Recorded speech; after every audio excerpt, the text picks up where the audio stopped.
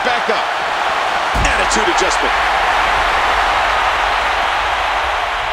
And now he gets a bit of a reprieve as the official once more begins to count.